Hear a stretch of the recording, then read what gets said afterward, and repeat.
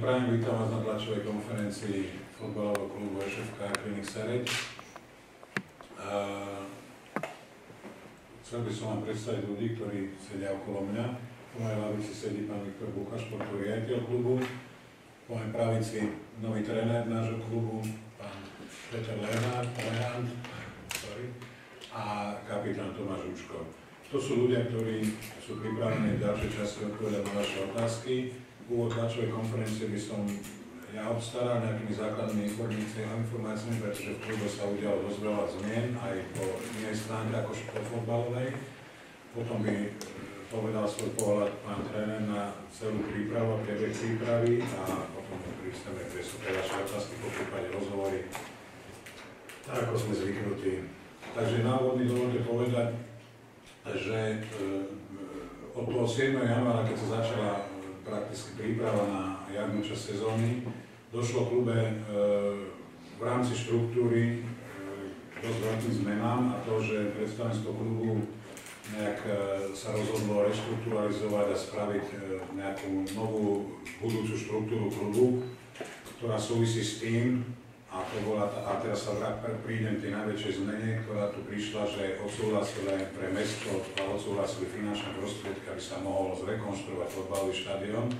Čiže celé to snaženie tých ľudí, ktorí sa motajú, ak to predstaviť okolo toho fotbalu, sú nejaké 15-ročné, vyústilo v to, že sa tu e, proste začne rekonštruovať a budovať jeden moderný, perfektný areál, ktorý bude slúžiť nielen Máčku, ale všetkým Sereďanom a mládeži je tam obrovské zázemie naplánované pre mládežnícke družstva. Takže to je veľmi veľká podstatná zmena v živote klubu, pretože aj licenčné podmienky, ktoré určujú, a keď to poviem tak ľudovo, že sa čudovať, že prečo sa nehrá Fortuna keď nemá vlastný štadión, tak teraz to má ten rámec tej logiky, že teda e, pri ďalšom licenčnom konaní, keď budeme, predložíme doklady, ktoré sa už vypracovávajú na začiatok územného konania a tým pádom sa začína budovať štadión a už to samotné budovanie e, je otázka roka, mal by byť nový štadión postavený, bude mať kapacitu 4000 ľudí, tu máte jeho vizualizáciu, ktorá je, ktorá je naplánovaná.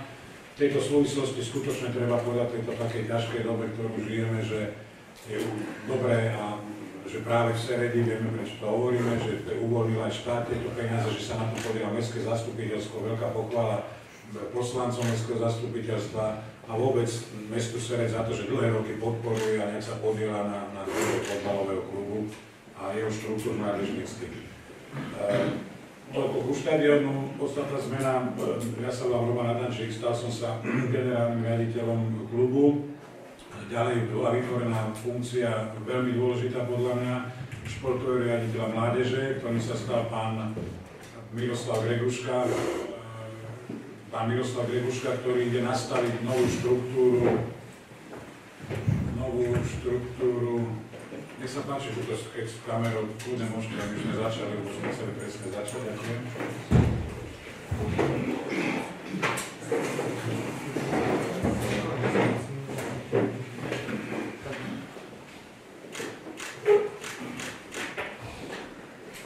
Novú štruktúru, pretože mládež, mládež treba začať, začať robiť podľa, podľa, um, podľa vecí, ktoré fungujú teraz vo svete. My máme ambíciu do nejakých dvoch, troch rokov vybudovať a začleniť sa najprv útvar talentovej mladšie, no vybudovať tú akadémiu. Mládežný pán Greguška sa veľmi chopil funkcie, priniesol aj nových ľudí, nových trénerov a začína to mať taký rámec také vážnosti. A v súvislosti s touto organizačnou štruktúrou tam musím ako predstavenstvo klubu k tomu pristúpilo tak prezieravo, lebo bude nový štadionové priestory, také kancelárie, nejak treba, už to bude návažno, už, už keď treba naplňaviť ten klub. A tí ľudia v tej novej organizačnej štruktúre, či už to bude v budúcnosti nový PR manažer alebo, alebo marketingový manažer, budú musieť začať normálne fungovať ako klub a prinášať peniaze, že to nebude len na nejakom uh, sponzoringu takým, že to bude pekný areál, ktorý bude aj sa využívať na iné veci pre mesto, ja neviem, na, na kultúrne podujatia, spoločenské podujatia. Takže môžeme to nazvať, že Seredi, vo fotbalovej Seredi prišlo na, cez leto veľkým zmenám, nová štruktúra, noví ľudia, uh, o, o fotbale, čo vás asi najviac zaujíma, o fotbale si tréner povie pán Lerand, ale toto som si dovolil povedať, lebo to je veľmi, sú dva významné milníky, v živote sereckého fotbalu a to, že bude sa, schválili sa finančné prostriedky a bude sa rekonštruovať štadión a ostane to na ďalších 80 rokov pre ďalšie generácie. A tí ľudia, ktorí sa na tom či už podiali, ktorí to slavili, patrí veľká vďaka vlastne týmto, takýmto spôsobom im tu ostane v úvozovkách pomník, že budú si pamätať, že boli pri tom, keď sa tu niečo spravilo. Na Fortuna Ligu e, ešte organizačné zápasy budeme hrávať v Zlatých Moravciach možno vyskytuje otázka, že prečo tak, my stále hľadáme nejaké priestor, aby to bolo tomu človeku a fanúšikovi a niekomu dostupnejšie zo Seredy. Zlaté Moravce sme sa veľmi korektne dohodli, myslím si, že výhodné. S Nitrou sme sa nemohli, lebo niektoré zápasy nám korigujú, takže my vlastne je taká zaujímavá, že sa nepohneme zo Zlatých Moravec teraz v tejto časti, lebo aj ešte aj s Trenčinom zápas sa nebude hrať Žiline, ale, ale u nás Zlatý Moravce, teda u nás na štadióne Zlaté Moravce. Čiže toľko po tej organizačnej stránke, ja som vám pripravený potom odpovedať na otázky, ktoré sa týkajú či už nejakých zmien alebo nejakých vízií, alebo, ale určite vás najviac zaujímajú názory pána nového trénera. Pán Lerán sa stal prvým trénerom od, od piatku minulého týždňa, už môže byť oficiálne, pretože bol prijatý na štúdium UEFA pro licencia, čiže máme Oficiálne hlavný tréner je Peter Leran s asistentami Rolandom Prajom a Igorom Obertom. Peter, nech sa páči, máš slovo. Dobrý deň, vítam vás. Tak uh, asi uh, najviac sa zaujíma, uh, v podstate, že kedy sme začali asi prípravu, tak sme začali 7.1. a začali sme v domácom prostredí, odohrali sme prípravné zápasy s, s druhou ligou, s Maďarskou a Šamorinou, s našou druhou ligou, takže takže sme boli spokojní viac menej na úvod, na úvod tej prípravy s tými súpermi. Dvakrát sme vyhrali, jedenkrát sme remizovali a ešte sme odohrali prípravný zápas z Líne, kde sme 2-1 prehrali a potom sme sa viac menej presunuli na sústredenie do Turecka, kde začal treba vysloviť eh, poďakovanie vedeniu mústva, že, že nám to umožnilo, lebo všetci vieme, že v dnešnej dobe to nie je, nie je samozrejmosť a v každom klube aj my sa netajíme tým, že, že sme skromný klub, ale to vedenie nám zabezpečilo dobrú prípravu, tam sme mali takisto 4 kvalitné zápasy s dobrými súpermi, či už to bol Škendia, macedónsky majster, alebo, alebo Lechia Gdansk, Slavia Sofia, alebo Karpatie bol, takže všetko, všetko kvalitní súperi nás preverili a v každom z tých zápasov v podstate sme ukázali, tam ešte sme sa formovalo mústvo nejakú v tej prvý počas tých 60 minút viac menej sme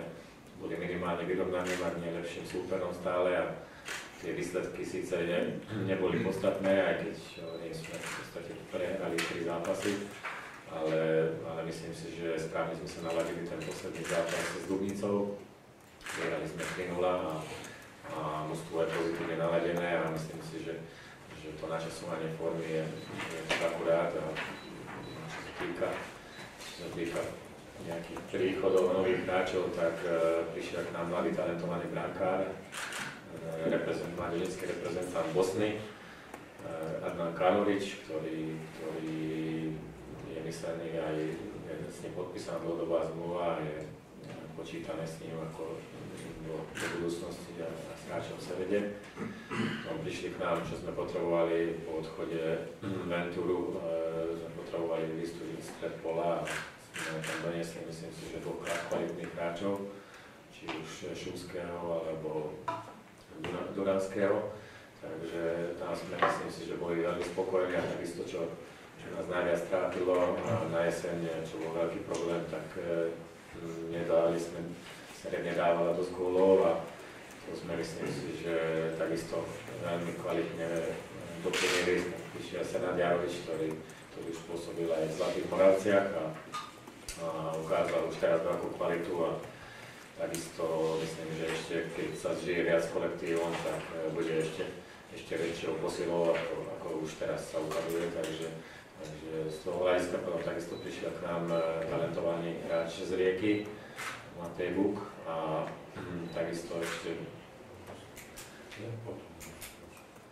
a potom a prišiel tam potom zo Slovana na hostovanie, takže, takže myslím si, že to, to prestupové obdobie sa zatiaľ ako docela vydarilo a uvidíme, až samotné výsledky určite ukážu, že, že jak sme sa pripravili, ale, ale myslím, že to mužstvo si verí a vlastne pozitívne naladení.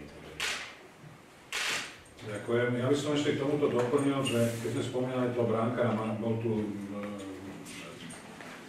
z Arsenalu tretí bránkár Dejan Iliev, Adam Kanurič je na jeho odporúčanie, je to hráč, ktorý prišiel zo Stoke City. On bol v mládežnických štruktúrach Stoke City do 23 rokov z toho množstva. Je 19. 21 nám sa podarilo vyrokovať s jeho agentom, že a dal vlastne ten agent na aj dva po roka len preto, lebo veril, že sa to s tým Williamom dobre pracovalo. A e, také ma, malý klub ako je Seret a malá súťaž ako je Fortuna Liga napríklad, e, to je ukázaná cesta, možno iní kluby určite už vedia o tej vedia to robiť.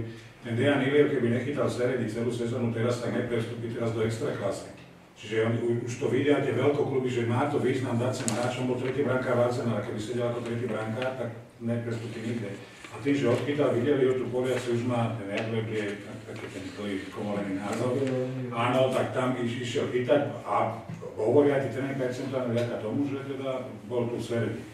A čo sa týka ešte z tých prstov, veľmi zaujímavý prípad, vy to asi poznáte, je tu Nikola Šumský, ako bol veľký talent a je teda českého fotbalu, vyrastal v akadémiách vo Francúzsku, v Monaco, on mal haváriu s autom a teraz robí, on to nemá na to slovo, ale taký tzv. reštart. My sme strašne tešíme, že sme sa nám podarili s ním a on to bere, viete, to je taká záno, že my mu pomáme, on nám, takže to je veľmi zaujímavé meno, ktoré, ktoré e, tuto. Ideme e, s takou aj novšou filozofiou, čo aj tréneri privítali, že hľadáme mladých hráčov a dlhodobejšie ich pospísať a stabilizovať ten kaja, takisto aj trénersky aby fakt to bolo aj v súvislosti s tým, čo som hovoril, že niekto má už nejaký rámec a vyústenie, že keď teda aby tí fanúškovia, keď bude už nebude na nich pršať a bude pekné svetlo, aby bolo na čo pozerať. Takže to je také tento.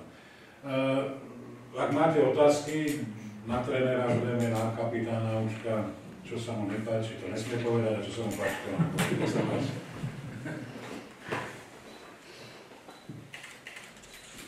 Môžem?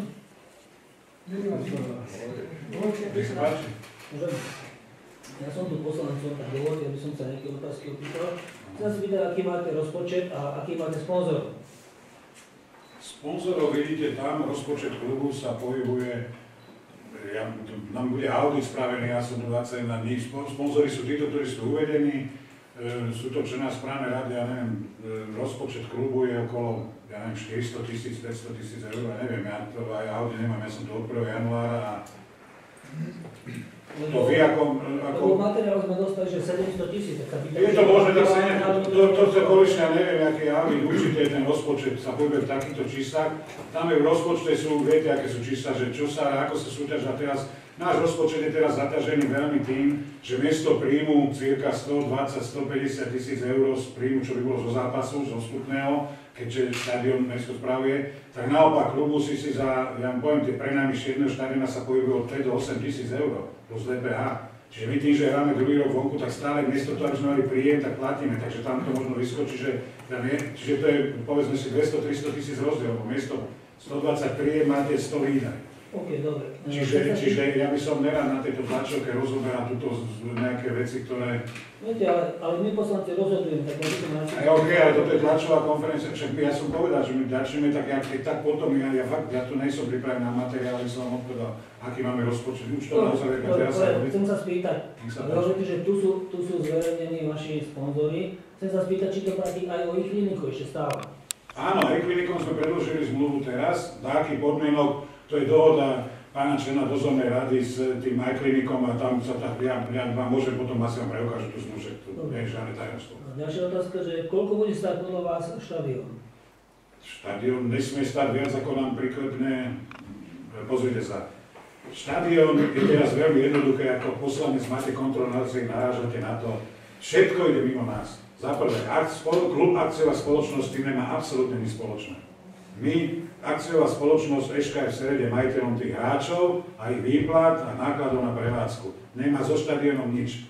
Vy viete dobre, že peniaze na štadión dostane správcovská spoločnosť mesta Sered, Vačan a, a my, všetko ide mimo nás. A keď by sme boli veľmi radi, keby to fungovalo, tam máte kontrolné mechanizmy, máte verejné obstarávanie, nevie, kto to bude stavať, ani vy neviete, kto to, ani vy poslanci neviete vedieť, kto sa tam prihlási, kto to bude stavať. Čiže poprosím niekoho, že teda keď si tu preinvestoval 2 milióny, daj mi sponzormi 20 tisíc, ani nedá. Nedá sa to urobiť. A vy to stávate, to je mimo, zlé otázky dávate. Štadión stáva mesto. Mesto dostalo schválenú dotáciu od štátu 2 milióny cez vašu spoločnosť. To ako poslanec by ste mohli nevidel. Ale ani neuvidíte, však sa nám podpisujú papiere. No. Ale ja som tu není na mestskom poslanci, prosím poďme sa baviť o športe, prepáčte. Dobre, ja vám odpoviem po tlačovej konferencii na všetky otázky. Vy ste poslanec a ste na tlačovej konferencii, kde prišli médiá z z Bratislavy a potrebujeme riešiť šport. Tieto otázky si my potom rozpovieme. Dobre? Buďte tak dobrí. No, Ďakujem pekne. ale, ale, Nech sa páči športové otázky. Dobre, ja síce nadviažem na pána poslanca. No možno, ale- jasné, ale sú ale ste z denníku šport. dobre. Jasné, áno. E, ide o to, že teda kedy sa má začať ten štadión, lebo to je najdôležitejšie samozrejme, Ja. kedy, Áno, a teda, postup- že ako to je finančne, Môžeme je to- úplne jedno, ako ste Áno, je to veľmi jednoduché, je to veľmi transparentné a prehľadné. Teraz som dostal správu, sme na pôde mestského úradu.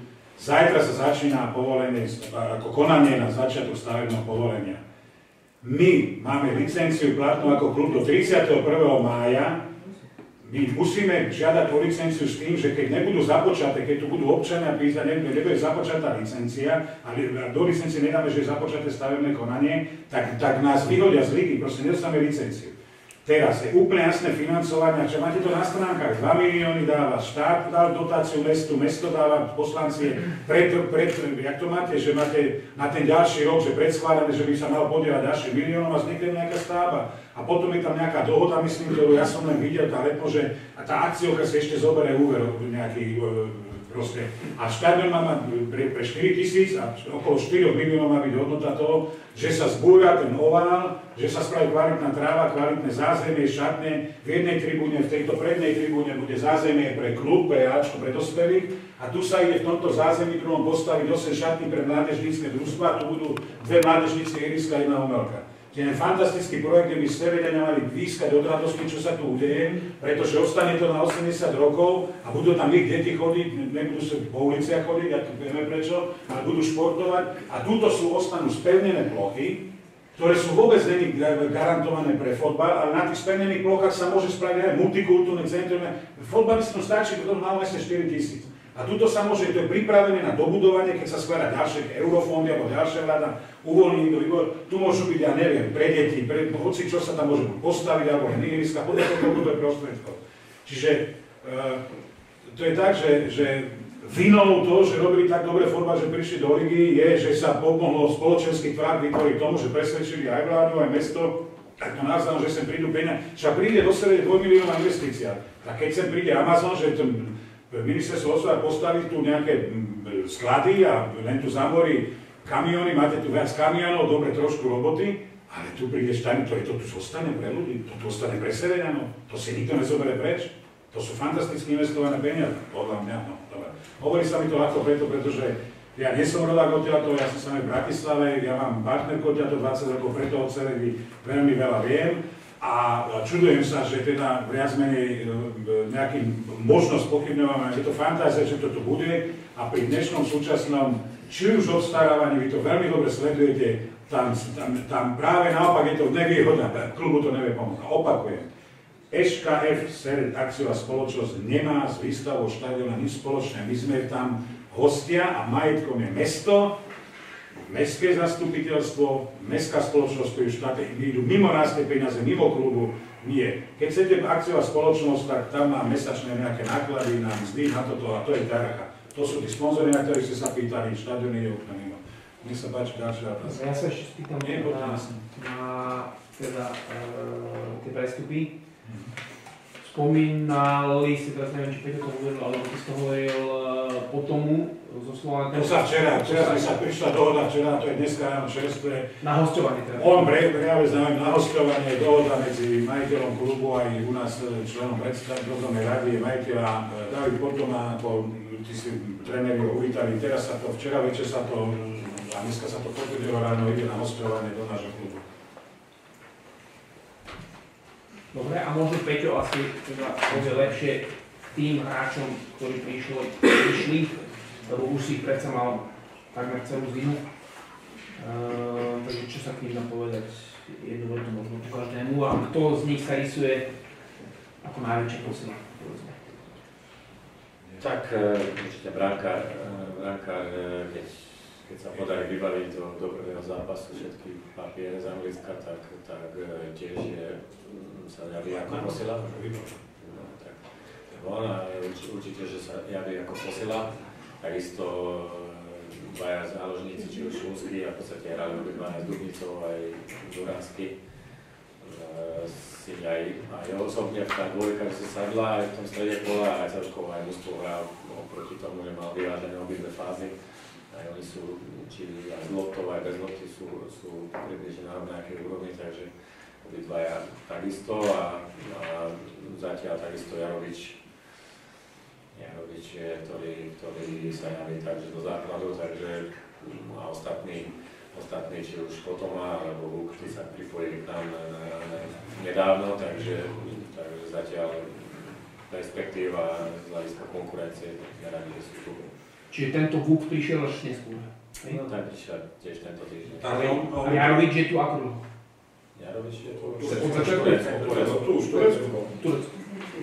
Takto, ten Vuk prišiel preto neskôr, to Peťo možno nevie, on, on už mal, už by sa napor skôr do prípravy, je to s Riekom, máme strašne dobre s tým klubom, tak ním sa tam zranil nejaký útočník a musel nastupovať v ich, tam boli na nejaký turnaj, čiže sa nám oni ospravedlnili. My máme s nimi takú dobrú komunikáciu s viacerými hráčmi, to bolo len preto, inak prišiel skôr. Nech sa páči, ste sa vlastne. Ďakujem, Majko Sereď online. Poprosil by som vás e, o informáciu. E, Bolo tu spomenutých veľa e, zahraničných mien, hráčov. Sme na pôde mesta Sereď, sedíte pod erbom mesta Sereď a zaujíma ma, koľko hráčov zo Serede momentálne hrá v tomto mužstve a e, koľko plánujete hráčov umiestniť e, do budúcnosti. Dobre, eh, hrajú teraz, asi to viete, Adam. Morong a Martin Mečiar. Viem, kam smerujete a preto aj som hovoril toľko o tom v súvislosti s mládežou, že treba tu vytvoriť nejaké, mali sme nejakých 7 družstiev, 8, prišiel nový mládežnický, chce 9 až 12 ročia, čiže treba stiahovať a ľudí pre fotbal, de- decka pre fotbal. Viete dobre, ako ste už geograficky uzemie, že Trnava Nitra, že napríklad teraz nejakého 12-ročného je systém Akadémie Žilina klikla si a za 250 eur výchovného si ho bere preč. Potom si ho vychová v tej Žiline, kde sú podmienky, kde veľká akadémia predávajú do sveta. To je ďalší, to je, s ktorým sa my stretávame. A musím vám povedať, že celoeurópsky trend, teraz som bol, preto vám tak dobre odpovedať, bolo zasadnutie ústrednej ligovej komisie, v celom svete, v celej Európe teda, je trend, že v družstvách, veľkých mužstvách, od Ligy majstrov až po ne, sa uplatňuje len 2-3% odchovancov v tom danom klube. A napríklad aj Barcelona, ktorá má akadémiu sa 15 miliónov eur s ročnými nákladmi, má len 2% odchovancov. Je to nové, a Slovensko v tomto je, a naša liga má že 4, čiže ešte viac, je ten nejaký priemer. Bolo by najlepšie, a verte mi, že pre nás najlepšie, keby sme mali Seriďanov a Slovákov, lebo neviem, či ste skúšali niekedy zamestnať cudzinca u nás, čo to znamená administratívne, takže verte mi, že keby tu prišli som na, na a ja dúfam, že to tu bude od 10-15 rokov, že prídeme na juniorský zápas, ty, ty, ty, poď. Teda ne ja, on. Verte mi, že je to tak. Bohužiaľ kvalita a zvyšujúca sa úroveň životnej úroveň na Slovensku, teda možnosť dať hráčovi, ja neviem, 500 eur, keď v Srbsku má 200 za futbal, ide. To je aj, aj preto to je. A naš, naša mládež je trošku inak teraz nastavená. Viete dobre, že žijeme, tie mladí ľudia si rozmyslia, či si pôjde každý deň brať od brata trenky, keď má doma všetko. Ale pre nás je to výzva a tá otázka veľmi s mierená. Pán Greguška tu sedí medzi nami, mládežnícky športový nový riaditeľ, ktorý začal sa vrhol do toho tak, že keď tu vydrží niekto ho neznekutí, tak ja si myslím, že za 5-6 rokov bude veľké výsledky a chceme mať plnú pyramídu. Slovenský fotbal tiež podporuje akadémie 3 milióny eur ročne. Má ich 13, máme ústredné tie tréningové strediska mládeže a fantasticky to funguje v iných mestách. My sme ešte aj geograficky zle, že si tu bereme, lebo veľa ligových nákope a musíme, musia byť dobrí a musia presvedčiť, aby ostal v Seredi. Ten nový štadión s tým novým zázemím aj pre mladé, že prvý krok k tomu, aby neutiekol do Nitry alebo do Trnavy, ktoré majú už nové štadióny, treba no. Argumentom pre presvedčenie mladého, nádejného reprezentanta vo futbale sú peniaze? Myslím si, že nie. Myslím si, že otázka toho, že táto Fortuna, že sa podarilo v minulosti Seredy, ja preto hovorím rád, lebo som prišiel teraz, že sa podarila presvedčiť Fortuna Liga, je úžasná vec, aká to platí, vidíte len pre zahraničných. Arsenal Londýn sem poslal hráča, brankára, ktorý tu odchytal, mimochodom bol, on tu bol so svojím trénerom, mentálnym, aj, aj, aj kondičným, ktorí, tí predstaviteľia toho klubu s nimi sedeli a sa trošku ospali, že máme starší štadión, že budovať nový, oni povedali, mm, to je dobré, nás po sebe váži to, čo má Arsenal, alebo potom niekde inde. Oni uznali z Arsenalu Londýn, že dobre, podrať sem Fortuna Ligu, a my ťa potom dobre zobchodujeme, alebo budeš u nás Ja sa tak stalo, oni zobchodovali teda do post. Toto keď pochopia aj slovenskí hráči, že tá Fortuna Liga smeruje k tomu a nie 13-14 ročného dávať do akadémie, kade, tade. Dneska idete a dneska je ten systém na Slovensku nastavený tak, máte akadémiu, to je dobre, človek klikne sa, zoberie nám hráča, zoberie nám, my nemôžeme nič, on keď rodičov presvedčil, on nemá 18, zoberie hráča. Dobre, posledná otázka. Kto sú momentálne akcionármi vašej akciovej spoločnosti? Ja je to zverejnené na nete. Ja viem, predstavenstvo správy, ktorý sa Predstavenstvo je zverejné, poprosil by som tých akcionárov, keby boli povedané. Ja som pán Stareček a pán a Miroslav Bucha. Pán Stareček a pán Bucha sú poslancami Mestského zastupiteľstva a zároveň hlasujú za všetky dotácie a všetky verejné financie smerujúce ako do klubu, tak aj do akciovej spoločnosti. Vy ako generálny manažer nevidíte v tom konflikt záujmov? Viete čo? Keď tie peniaze idú transparentné a myslím si, že keď sa tu pýtal pán Bosen na rozpočet, ktorý je od 500 do 700 tisíc a mesto schváli 40 tisíc pre akciovú spoločnosť a 47 pre občianske združenie, tak aspoň tam máte, keď to schválite, že vy ste tej komisii nejaký riadny že povedia, že prečo to je, na čo to je. Ako toto, to sú ľudia, ktorí sa záberajú 15 rokov, sa stretávajú na úkor toho, že nie sú s manželkami doma, dávajú tam peniaze zo svojich firiem, aby fungoval fotbal. Takže ak sedia v nejakej komisii, ktorá schváli 47 tisíc eur na činnosť a treba 700 tisíc, tak nevidím to Ďakujem sa. Nie, nie, to je... Fú, ja bez tých otázok, ale ja neviem. Poďte do nás. 22. kolo sa musí odohrať v jeden deň a v jednu hodinu všetky zápasy. A ten termín koleduje s tým zápasom z Zlatým Moravie. Či už známe blízko toho konania. Ďakujem za otázku. Zavodol som vám to povedať v Nitre. Máme podpísanú dohodu Nitra tedy v Senici, teda možno, ak sa nic dobre hrať, nebude hrať. Je v Nitre to posledné kolo. Tam máme kolíziu a nahradila veľká to hrať v jeden čas, tak hráme v Nitre. To už máme ešte by sa tam 4. marca sa má zápas hrať Slovna v kapu, že či sa tu bude hrať tu v Seredi. Robíme všetko preto, aby sme ten pohárový zápas s Ružomberkom hrali, len bohužiaľ nie je pasportizácia toho iriska, takže musí s tým súhlasiť Ružomberk.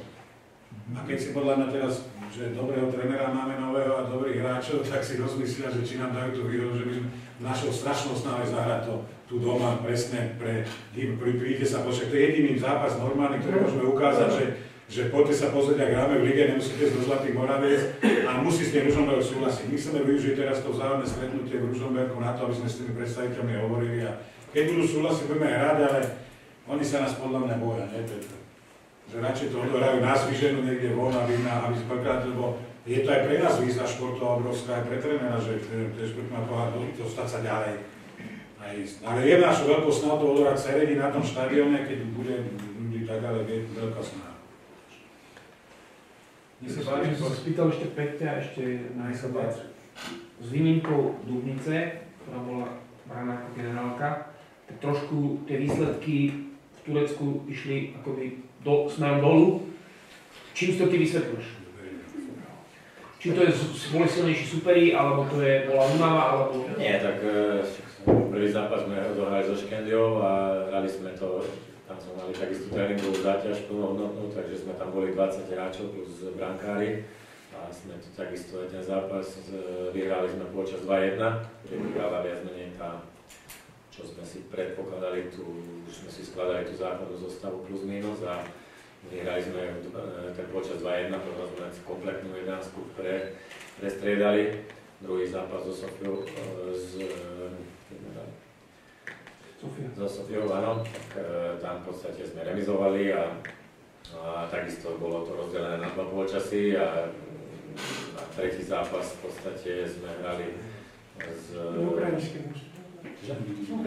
Nie, z Lechiou Gdansk, tam sme odohrali e, 60 minút, e, tá základná zostava plus minus a tiež sme vyhrávali 1-0 a potom po tých prestredaniach e, je logické, že e, mužstvo ako nemá, nie sme Slován Bratislava, že máme na zdvojené posty 100% a, v podstate ja som, e, jasne, že tie výsledky, za to, sme, za to som rád, že ten e, aj výsledkový zápas s Dubnicou dopadol dobre, ale ale tie prvé tri zápasy v Turecku, v Turecku boli, myslím si, že kvalitné a hovorím, plus minus tá hodinka, to vyzeralo dobre. Štvrtý zápas v Turecku sme hrali s Lvovom a tam hrala kompletná, viac menej tá druhá zostava. Takže mm, je to niekde logické a museli sme aj trénovať, museli sme aj v podstate vidieť aj tých hráčov, ktorí sú v kadri, aby sme videli, s kým môžeme počítať a s kým nie. Tam boli ešte viacerí hráči, ktorí nakoniec tam ani nezostali.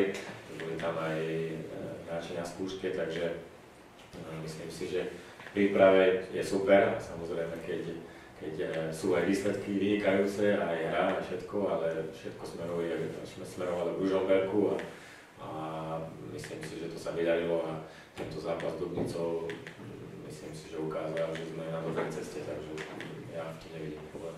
Ďalšia otázka. Aký je konkrétny cieľ, a teda ak je, aký pre túto sezónu pre Janu Čas? V tejto tabulke asi vidíte, že sa dá ešte bojovať o šestku. E, je myslím, že nejaké tri víťazstva po sebe, dá sa to dotiahnuť aj šestka. Ale je tak sformulovaný cieľ, alebo to je. Je to, no jasné, jasné, že sa pre- prekopal manča, nový tréner, prišli noví hráči, to sú hráči, ktorí prišli, uvidíte, uvidíte na, na ihrisku ako ten Šumský a, a, ten Duranský a sa posli spravili, ako spravilo sa všetko preto, aby sa zabojovalo, však tam sa nejaké ne- zápasy nešťastné na jeseň prehrali, čo ja viem, obol na posledný minúte, ja neviem. A jasné, že je to šestka. Tak, jak povedal to zábavný zástupca Slovana na zasadnutí ULK, snažte sa o 6. miesto, lebo budete oslávať majstra, no, ten 6. hrá potom pozem. Takže určite šestka, dúfam, že ze záchranárskej práce nás ako netreba to dopredu hovoriť, ak cieľ je, keď tým sa dá bojovať o šestku, a je to možné dobehnúť matematicky, tak OK. Ale my si nevytvárame nejaké veľké tlaky na seba. No to som sa tak No, Ale ešte ja, matematické tak, zásah. ako sme pôsobili e, doteraz, tak chceme byť Áno. s pokorou a s ústou. Áno. Základný cieľ je, základný cieľ je určite záchrana a všetko na to a to, že čo si dáme nejaký tímový, tímový cieľ, to je u nás v kabíne, ale my chceme skromne a nechceme zbytočne nejaký tlak a vedenie mužstva e, si má, má svoje predstavy a my sme, my sme vždycky na zemi a radšej budeme milo prekvapení ako, ako sklamaní, takže bez, nejakého, bez nejakých veľkých vyhlásení ideme od zápasu k zápasu a to je hlavný cieľ. Takže Ešte by som sa spýtal Tomáša Učka, či z svojho pohľadu je niečo iné, alebo ako ty hodíš toto ľudí? Už si toho teda vo futbale trošku odkopal niečo. Tak tréneri sa viac menej vrátili po pol roku, takže skoro, skoro rovnaké, akurát e, veľa hráčov sa tu vymenilo odtedy, takže to je trošku rozdiel, ale ináč to trénujeme, trénujeme takisto rovnako a verím, že budeme úspešní, ako sme boli minulú sezónu.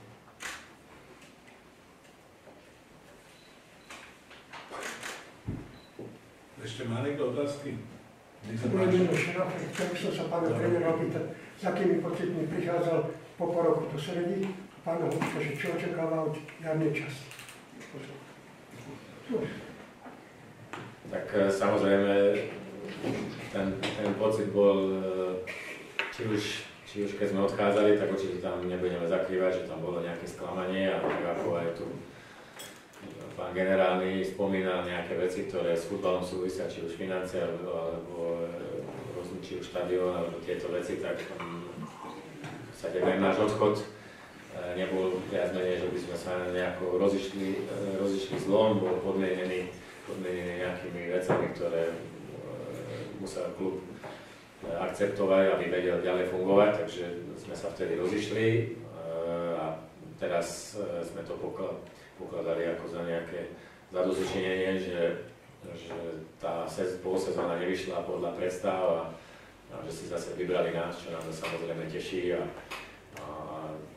myslím si, že dúfam, že v obojstrannej spokojnosti tú polsezónu urobíme a, a že to bude, to bude OK. Čo očakávam, ako hovoril aj tréner, eh, kým ešte je tá šanca spraviť tú šesku, tak určite sa ono pobijeme a na to bude treba určite viacej vyťazí, ako na jeseň, takže to je hlavný základ toho, aby sme vyhrávali a potom eh, je šanca, aby sme sa tam dostali. Vládko, a ja, ja by som sa chcel opýtať, víš, dobre, že sme tu takí dvaja, traja, vlastne čo chodíme s vami doma vonku, čo sme nevynechali jeden zápas a vždycky sme e, videli, že bola taká parádna atmosféra v tej kabíne. Teraz, keď sa tam tak pomenilo, že je tam kopa nových, jaká je tá atmosféra? Ne, ne, nedeli sa to tam ako na skupinky, že vždycky ste boli ozaj takí súdržní, takí, tej kabíne to bolo ozaj také parádne. Jak je to teraz? Tak áno, bolo, lebo bolo nás tam 90% Slovákov, Áno, no, však práve. polovička musel zahraničný, ale tak ako snažíme sa to dať nejak dokopy a myslím si, že, že teraz eh, je začiatok ligy a je, je to v pohode. Ako môžem povedať, že tá partia je dobrá. Aj tým, že teraz prišli tréneri, tak tiež to dávajú dokopy. Takže myslím si, že tá atmosféra bude dobrá a dúfam, že budeme, že sa nám bude dariť. V tejto súvislosti treba povedať, že aspoň na návrh Luba Michalika, z toho hostov s Galanter, bol s tým predošlým trénerom. A ja som sa bol dvakrát pozrieť do tej kabíny, a je to dobrá partia, keď sú ino. A hlavne, viete, tí inostranci tiež sú to tak, že trošku sa tam... Oni vedia, ak sa majú správať, zaradiť a nie sú to nejaké ťažké, či už úplne, väčšinou tuto ten Balkán, tak to sú normálni ľudia, tu Európa, to sa dá. A čo ja neviem, musia oni povedať, ja som tam dvakrát nazvel a videl som veci, ktoré mi elokujú to, že je to fantastická partia, samozrejme, keď ešte keď spomeniem toho Luba, to je výborné, že sa vrátil, no ale ako, je taký vodca prirodzený a aj proste v kabíne má slovo, takže z tohto pohľadu je to výborné.